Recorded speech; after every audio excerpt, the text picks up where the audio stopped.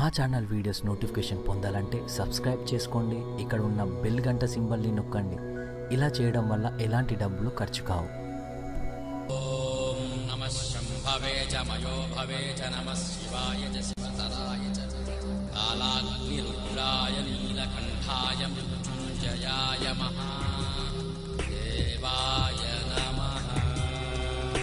మా అబ్బాయి ఇల్లు కొనుక్కున్నాడండి అని చెప్తాను. తప్ప నేను పది లక్షల రూపాయలు ఇచ్చానండి అని చెప్తానా? చెప్పను. ఎందుకు చెప్పను? భయం. ఇదేమిటి? మీరు పది లక్షల రూపాయలు మీ కొడుకులు కొనుక్కోవడానికి ఇస్తే అది చెప్పడం ఎందుకండి? నేను ఎవడైనా అంటే అది చెప్పడం ఏమిటి? అసహ్యం కాదు నా కొడుకు ఇస్తే నేను చెప్పడం ఏమిటి? అదే పెద్ద గొప్ప విషయం ఏంటి? నా కొడుకు నేను ఇచ్చుకోవడం. ఈ సమస్త జగత్తుకి తల్లిదండ్రులు పార్వతీ పరమేశ్వరులు శంకర భగవత్పాదులు నేర్పారు మనకి. ఆయన అన్నపూర్ణాష్టకం చేస్తూ అంటారు మాతా చ పార్వతీదేవి పితాదేవో మహేశ్వర బాంధవా శివభక్తాశ్చ స్వదేశో భువనత్రయం. అమ్మా అయ్యా వాళ్ళిద్దరే. అమ్మా అయ్యా నేను ఎవరినైనా పిలవచ్చు మా అమ్మని అమ్మ అమ్మ అంటాను మా నాన్నగారిని నాన్నగారు అనేవాడిని కానీ మా అమ్మ అయ్యనే కాదు ఎవరినైనా నేను మాట్లాడేటప్పుడు అమ్మా అంటాను. నా దగ్గరికి వచ్చి ఎవరైనా మాట్లాడుతున్నారు అనుకోండి ఆడవారు అమ్మ ఏమి ఇలా వచ్చారంటాను? అమ్మా అని నేను ఎవరినైనా అన్నప్పుడు వారిని ఉద్దేశించి అన్నానని కాదు. మా అమ్మ పార్వతీదేవినే అన్నాడు ధూర్జటి అమ్మా అయ్యా అంచు నేనెవ్వరిని అన్నం శివా నిన్నేను సుమి నీమది తల్లిదండ్రులటంచుం చూడగా బోకు. నాకిమ్మై తల్లియు తండ్రియున్ గురుడు నీవే కాక సంసారపుం చిమ్మంచీకటి కప్పకొండ కనుమా శ్రీకాళహస్తీశ్వర అన్నాడు. చిమ్మంచీకటి అంటే అహంకారమే. కాబట్టి ఇది ఎవరికైనా తెలుస్తుందేమో ఏమంటే పది లక్షలు ఇచ్చారా మీ అబ్బాయికి? అంటే ఎంత అసహ్యంగా ఉంటుంది. ఏంటి నేను నా కొడుక్కి ఇచ్చానని చెప్పుకోవడం ఏమిటి లోకంలో? కాబట్టి ఇది ఎవరికి తెలియకూడదు. మా అబ్బాయి కొనుక్కున్నాడని తెలిస్తే చాలు. అని నేను ఎలా అనుకుంటానో అలా నేను ఇచ్చింది ఎవరికి? మేమంతా ఒకటే కుటుంబం. ఈ లోకమంతా ఒకటే కుటుంబం. ఒకటే కుటుంబం అయినప్పుడు అందుకే భూతదయ దానము ప్రేమ ఈ విషయంలో మాత్రం అధికార అనధికార విచక్ష చూడవద్దు. శాస్త్రం అక్కది నేను కదా శంకరుల మాట. యజ్ఞం చేస్తున్నావు అధికారం ఉంటుంది. అందరూ మంత్రం చెప్పరు అందరూ హవిస్సివ్వరు పూజ చేస్తున్నావు అందరూ పూజ చేస్తారు. అభిషేకం చేస్తున్నారు. నా రుద్రో రుద్రమచ్చయేత్. ఆ రుద్రుడు కానివాడు అభిషేకం చేయడానికి వీల్లేదు. కానీ నీవు ఒకరి పట్ల ప్రేమతో ఉండి ఉపకారం చెయ్యవలసి వచ్చింది దానికి స్త్రీ పురుష పండిత పామర కుల మత వర్ణ వర్గ విచక్ష ఏది ఉండకూడదు మనసు ఏదీ లేకుండా నువ్వు చెయ్యాలి. మళ్ళీ అందులో విచక్ష నువ్వు పెట్టుకుంటే సర్వభూత దయాపుష్పం దాటావు. మినహాయింపు తెచ్చావు. కుదరదు. కాబట్టి అన్నిటి ఎందు ఒక రకమైన ప్రేమతోనే నువ్వు నిలబడగలిగి ఉంటే అందులో నియమం తప్పానేమోనన్న భయంతో అంత జాగ్రత్తగా నువ్వు ఇవ్వాలి సుమా. ఇచ్చి నువ్వేం తెలుసుకుంటావో తెలుసా? సంవిధాదేయం. ఇచ్చినప్పుడు ఒకటి గుర్తుపెట్టుకో. ఇచ్చినవాడు పుచ్చుకున్నవాడు రెండు లేరు ఒక్కటే. సభాభ్య సభాపతిభ్యశ్చ మో నమో నమో అంటుందే ఎదుర్వేదం అలా సభా సభాపతి ఒక్కటే అయినట్టు. ఇచ్చేవాడు పుచ్చుకున్నవాడని నిజానికి ఇద్దరు లేరు ఒక్కడే. వాడే ఇస్తున్నాడు వాడే పుచ్చుకుంటున్నాడు. నాకు లాల్చీకి రెండు జేబులు. ఇందులో వంద రూపాయల కాగితం తీసి ఓ లాల్చీ ఎడమ ఉంచుకో అని ఇందులో పెట్టాను అనుకోండి ఎవరి మా డబ్బులు? ఇందులో ఉన్నా నావే ఇందులో ఉన్నా నావే. కాసేపు కుడి జేబులో పెట్టాను కాసేపు ఎడం జేబులో పెట్టాను నావేనా? ఆ డబ్బులు? సంవిధాదేయం ఇస్తున్నవాడు పరమాత్మ నీదేది కాదు. అసలు నువ్వే కదిలేవంటే ఇవ్వగలిగావంటే నీ చేయి కదిలిందంటే ఈశ్వరానుగ్రహం. లే ఆయన అనుగ్రహం లేకపోతే చేయి కదులుతుందా? ఆయన అనుగ్రహం లేకపోతే ఊపిరి తీయగలవా నువ్వు రెండు ఊపిరిల మధ్య యమధర్మరాజు గారు కూర్చుని ఉన్నాడు. ఆయన శాసనం అయితే ఆగిపోతుంది అంతే లోపలికి పీల్చిన ఊపిరి బయటికి వెళ్ళదు బయటికి వెళ్ళిన ఊపిరి లోపలికి రాదు. కాబట్టి ఆయన అనుగ్రహము వలన ఇస్తున్నాను. ఆయన అనుగ్రహము వలన వాడు పుచ్చుకుంటున్నాడు. రెండిటి ఎందు ఆయనే పుచ్చుకుంటున్నవాడిగా ఆయనే ఇచ్చేవాడిగా ఆయనే. శ్రవణ మాసం వస్తోంది కదూ. శ్రవణ మాసం శుక్రవారం నాడు వరలక్ష్మీ వ్రతం అంతా చేస్తారు. వరలక్ష్మీ వ్రతం అంతా చేసేసిన తర్వాత ముత్తైదులు ముత్తైదువల్ని పిలిచి వాయుదానాన్ని దానం చేస్తారు. ఆ దానం చేసేటప్పుడు వాళ్ళని కూర్చోబెట్టి పసుపు రాసి వాయనం ఇస్తారు. ఆ వాయనం ఇచ్చేటప్పుడు తిన్నగా పట్టుకెళ్ళి చేత్తో వాయనం ఇచ్చేయకూడదు.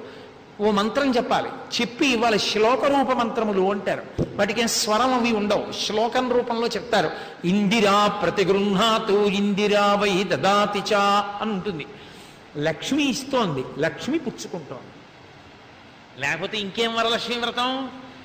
పన్నెండు మందికి వాయినాలు ఇచ్చానండి. పాపం ఆవిడకి కూడా ఇచ్చాను. ఎందుకో తెలుసా? పాపం లేనిది కదా. అందుకని తనకి ఇచ్చినప్పుడు నాలుగు అరటిపళ్ళు పెట్టానండి. అందనుకోండి ఆవిడ వరలక్ష్మి వ్రతం ఎందుకో పనికిరాదని గుర్తు. నువ్వు ఇవ్వలేదు ఆవిడ పుచ్చుకోలేదు.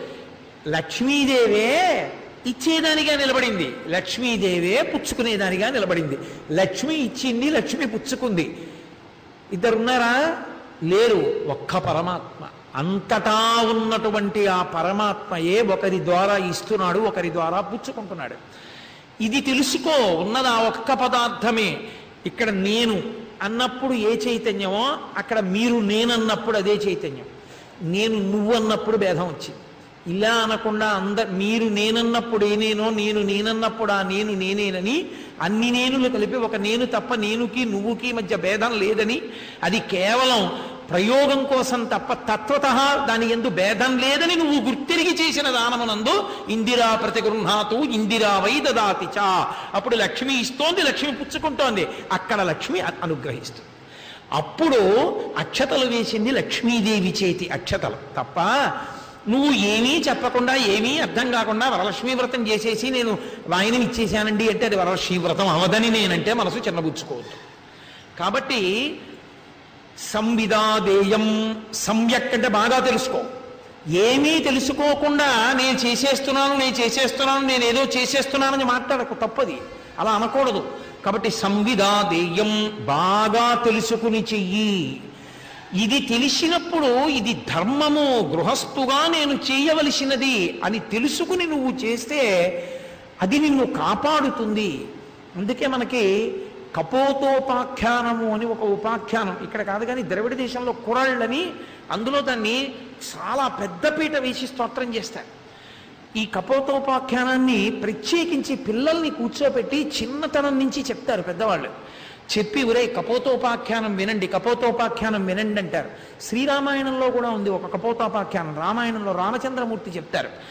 ఇక్కడ కపోతోపాఖ్యానం వేరు ఋషిప్రోక్తమైన కపోతోపాఖ్యానం. అందులో ఇవ్వడము అన్న ధర్మాన్ని నిరూపిస్తారు.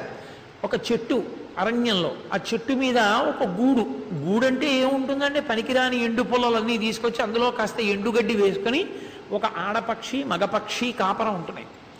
ఒక వేటగాడు అరణ్యంలోకి ప్రవేశించాడు. ప్రవేశించి చూశాడు చీకటి పడిపోతోంది ఆకలి వేసేస్తోంది ఏం దొరకలేదు. రెండు పక్షులు కో కో కో ఆడుతున్నాయి సంతోషంగా. ఆ చిక్కైరా పెట్టాలని చెప్పి బాణం పెట్టి కొట్టాడు. అది వెళ్ళి సంతోషంగా ఆడుకుంటున్నటువంటి రెండు పక్షులలో ఆడపక్షి యొక్క రెక్కల మీద తగిలింది. గిలగిల గిలగిల గిల గిల కొట్టుకుని కింద పడింది. అది చచ్చిపోలేదు. ఎందుకని? రెక్కలకి తగిలింది తప్ప దాని కడుపుకో గుండెలకో తగలలేదు. కానీ పడి అది ఎగిరే లోపల వేటగాడు వెళ్ళి దాని మీద చెయ్యేసి పట్టుకున్నాడు. పట్టుకుని తన బుట్టలో పడేసి మూత పెట్టాడు. అది వెదురు తట్ట. కాబట్టి లోపల నుంచి కనపడుతూ ఉంటుంది. గాలి ఎడుతూ ఉంటుంది. మగపక్షి చూసింది ఏడుస్తోంది ఆడపక్షి ఏడుస్తోంది ఆ బుట్టలోంచి. అయ్యో చూసావా? నన్ను పట్టుకెళ్ళిపోతున్నాడు మన ఇద్దరికి ఎడబాటు వచ్చిందని. ఆ బుట్ట పట్టుకుని వెళ్ళిపోయాడు చీకటి పడిపోయాడు. ఇంతలో ఎక్కడి నుంచో మబ్బులు కమ్మి హోర్న వాన. బ్రహ్మాండమైనటువంటి వర్షంలో ఆ వేటగాడు దారి తప్పిపోయాడు. అటు తిరిగి ఇటు తిరిగి అటు తిరిగి ఇటు తిరిగి ఏ చెట్టు మీద ఉన్న గూటిలోని మగపక్షి ఆడపక్షుల యొక్క జంటలోని ఆడపక్షిని కొట్టాడో. ఆ చెట్టు దగ్గరికి వచ్చాడు. వచ్చి కూలబడిపోయాడు. చలికి గడ గడ గడ గడ వణికిపోతున్నాడు. మగపక్షి చూసింది. మళ్ళీ కింద నుంచి ఆడపక్షి చూసింది మగపక్షి. అరే వీడు ఇంత బాధతో వచ్చి నేనున్న చెట్టు కింద పడ్డాడు. కాబట్టి నాకు అతిథితో సమానం. కాబట్టి అతిథి ప్రాణం పోకూడదు. నేను కాపాడాలి. గబగబా ఆ పక్షి వెళ్ళి తీసుకొచ్చి ఏవో చితుకులు వేద్దామంటే బయటంతా వాన. ఎక్కడుంటాయి పొడి చితుకులు? లేవు. దానికి ఏదో కొమ్మలు రెమ్మలు విరిచే అవకాశం లేదు. అది అతిథిని కాపాడలేని నా ఇల్లు ఎందుకని? అది తన పక్షి గూడునంతటి కాళ్ళతో చెల్లాచెదరు చేసి ఆ ఎండిపోయినటువంటి ఆ చిన్న చిన్ని కొమ్మలన్నీ తీసుకొచ్చి వేటగాడి ముందు పెట్టి గబగబా వెళ్ళి రెండు సికిముకి రాళ్ళు పట్టుకొచ్చి మనం చికుముకి రాళ్ళు అంటాం చికుముకి రాళ్ళు కాదు అది సిఖిముఖిరాళ్ళు అంటారు సిఖి అంటే అగ్నిహోత్రం యొక్క జ్వాల. శిఖ అంటే ఇలా పొడుగ్గా ఉంటుంది. సిఖి. అది ముడేసుకుంటారు. అది బ్రాహ్మణుడు నాట్యం చేస్తున్నాడు అనుకోండి. బ్రాహ్మణుడు నాట్యం చేస్తాడు ఒక్కొక్కసారి. ఎందుకు చేస్తాడో తెలుసా? అదో రహస్యం ఉంది. అందుకు చెయ్యాలి. పీఠాధిపతులు పూజ చేస్తుంటారు. పీఠాధిపతులు పూజ చేస్తున్నప్పుడు అకస్మాత్తుగా బాగా సంగీతం వచ్చిన వాళ్ళని లేచి నృత్యం చేయమంటారు. ఆయనకేం రాదు కానీ చేస్తారు. పరమాచార్య చేయించేవారు అలా ఎందుకు చేయిస్తారో తెలుసా? పీఠాధిపత్యంలో ఉన్న సన్యాసి నృత్యం చూడరు. అది కుదరదు. వాళ్ళ ముందుకు వచ్చి చేయకూడదు. కాబట్టి ఆడవారిని అసలు పిలిచి చేయించకూడదు. కాబట్టి అది వింటూ శబ్ద తరంగములకు వశుడు అవుతూ కాళ్ళు చేతులు అడుసు తొక్కినట్టు కదుపు. పతంజలి కృత శివతాండవ స్తోత్రానికి చేయించారు ఒకసారి పరమాచార్య. అద్భుతంగా వచ్చిందో బ్రాహ్మణుడు చేస్తే. అప్పుడు శిఖముడి విడిపోయి అది పైకి కిందకి ఆడితే ఎలా ఉంటుందో అగ్నిహోత్రపు జ్వాలలు వేగితే అలా ఉంటుంది. అందుకని శిఖ సిఖి అందుకొచ్చింది ఆ మాట. సిఖిముఖి అంటే ఆ రాయిని ఇంకొక రాయితో కలిపి ఘర్షణ చేస్తే నిప్పు పుడుతుంది. ఆ రాతికి ఆ లక్షణం ఉంటుంది. అందుకని శిఖిముఖి చంద్రకాంత శిలలను ఉంటాయి. వాటి మీద చంద్రకిరణములు పడితే అవి ప్రకాశిస్తాయి. అలాగే సూర్యకాంత శిలలు సూర్యకిరణములు పడితే ప్రకాశిస్తాయి. ప్రకృతిలో విచిత్రం. సికిముఖి రాళ్ళు. అగ్ని పుడుతుంది. రెండు రాళ్ళు తెచ్చి అక్కడ పడేసింది. అతనికి అర్థమైంది. ఆ రెండు రాళ్ళు ఒకదాంతో కొట్టాడు. నిప్పు పుట్టింది. ఆ చితుకుల్లో పెట్టాడు. మంట లేచింది. అమ్మయ్యా ఒళ్ళు కాచుకున్నాడు. ఇప్పుడు మళ్ళీ స్వస్థత కలిగింది. ఆకలి కడుపు ప్రేగులు నక నక నక నకలాడిపోతున్నాయి. మగపక్షి అక్కడే కూర్చుంది. చూశాడు రే నేను ఆడపక్షిని పట్టుకుపోయాను. మగపక్షి ఇంత ఉపకారం చేసింది. ఈ ఆడపక్షిని వదిలేస్తానన్నాడు. ఆ బుట్టలోంచి ఆడపక్షిని తీసి మగపక్షి దగ్గర పడేశాడు. ఇప్పుడు రెండూ కలిసి మళ్ళీ గూట్లోకి వెళ్ళాయి. మగపక్షి అంది చూసావా ఎంత అపకారం చేసిన అతిథి. నేను చెయ్యవలసిన కార్యం నేను చేశాను. కానీ అతను ఆకలితో ఉన్నాడు. ఏమైనా పెట్టాలి. ఏమైనా పెడదామంటే ఈ వానలో చీకట్లో ఎక్కడికెడతాను ఏం తెస్తాను? అన్నాడు. నేను మీకు భార్యని ఇంటికొచ్చిన అతిథిని మీరు ఆహ్వానించినప్పుడు మీరు ఆహ్వానించకపోయినా అతిథి వచ్చినప్పుడు ఆయనకి కూడా కొంచెం ఏదైనా పెట్టడం ఇంటి ఇల్లాలుగా నా కర్తవ్యం. కానీ నేను చీకట్లో వెళ్ళి తేలేను. కానీ నాలోనే ఉందిగా అతను తినే మాంసం. కాబట్టి మీ మర్యాద దక్కడానికి నేను పడిపోతాను అగ్నిహోత్రంలో అని వెంటనే ఆడపక్షి వెళ్ళి అగ్నిహోత్రంలో పడిపోయింది. చూస్తున్నాడు బోయేవాడు కాలిపోయింది. నా మాంసం తిని బతుకుతాడని మగపక్షి చూసింది నా భార్య ఇంతుంది దాని మాంసం ఇంత ఉంటుంది అతనంత ఆకలితో ఉన్నాడు ఏం తీరుతుంది? నా భార్య చూపిన మార్గం నా మార్గం అన్నది పడిపోయింది. వాళ్ళిద్దరూ పడిపోయి కాలిపోతే ఆ మాంసం తినమని గృహస్థాశ్రమ ధర్మం నెరవేర్చుకున్నటువంటి పక్షుల జంటని చూసి బోయవాడు మారిపోయాడు. అరే ఇదిరా ధర్మం అంటే. ఇచ్చేటప్పుడు శ్రద్ధయా దేయం శాస్త్రమిరిగి. తప్ప వాడు చేతకాని వాడు పనికి మాలినవాడు లేనివాడు నేనున్నవాడిని ఇస్తున్నానన్న అహంకారంతో ఇవ్వకు. పాడైపోతావు. పరమేశ్వరుడు నిన్ను అనుగ్రహించాడు కాబట్టి ఇవ్వగలుగుతున్నావు. పరమ ప్రేమతో పక్షులు అంత గొప్ప ధర్మాన్ని నేర్పాయని కురళ్ పిల్లలకి చెప్తారు అక్కడ. ఇవ్వడం నేర్చుకో దాచుకోవడం కాదు. నలుగురికి పెట్టి బ్రతుకు. లేని బ్రతుకుకి అర్థం లేదు. ఆశ్రమాన్ని సద్వినియోగం చేసుకోవాలి. ప్రేమతో జీవించు అని నేర్పుతారు. కాబట్టి మనకి తైత్తరీయోపనిషత్తు ఇంత అందమైనటువంటి ఇతివృత్తాన్ని